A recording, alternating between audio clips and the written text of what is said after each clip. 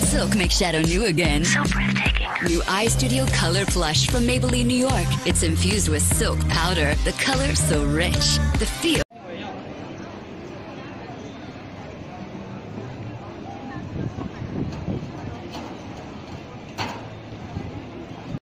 Dad always told me don't you cry when you're down But mom there's a tear every time that I blink